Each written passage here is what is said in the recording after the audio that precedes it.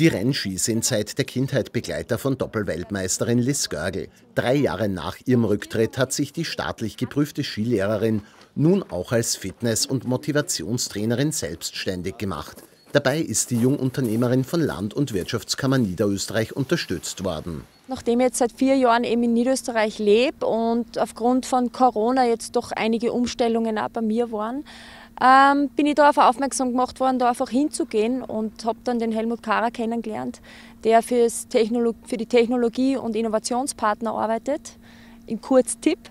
Und ja, die haben mir extrem geholfen. Und hier lag der Schwerpunkt vor allem auf dem Schutz ihrer Marke Liss.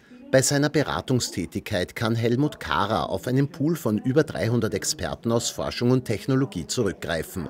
Ein weiterer Vorteil des TIP-Programms liegt in den eigenen Ansprechpartnern für jedes Landesviertel.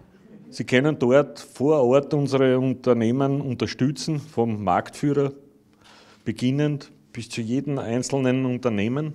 Und das ist, äh, glaube ich, genau das, was unsere Tipps äh, ausmacht. Wir merken, dass Unternehmen, die sich mit dem Thema Digitalisierung beschäftigen, die ihr Geschäftsmodell digitalisieren, auch leichter durch die Krise kommen.